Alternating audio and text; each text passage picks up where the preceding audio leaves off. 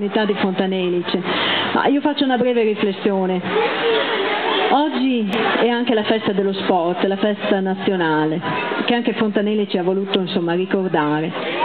Lo sport come modo di stare insieme, nel rispetto delle regole, il vivere in una comunità, l'imparare a giocare, l'imparare a vivere allegramente stando insieme, non sempre solo davanti ai giochi costruiti.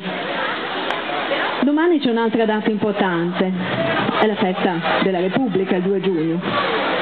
L'Italia ha scelto a suo tempo fra la monarchia e la Repubblica in un paese democratico, in un paese libero, con dei valori di fondo.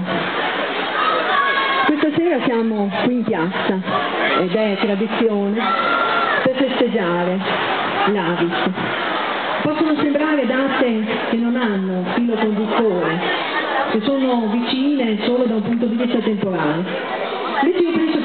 Sia un filo conduttore, che è il vivere, la comunità, il donare, l'appartenere, la solidarietà rispetto agli altri, il donare agli altri, il donare il proprio tempo, il donare il sangue, il fare che questo paese libero, democratico, continui ad essere un paese libero, democratico, con delle vere persone che vivono e appartengono alla comunità. Guardate che può sembrare una frase costruita, vivere e appartenere, non lo è. E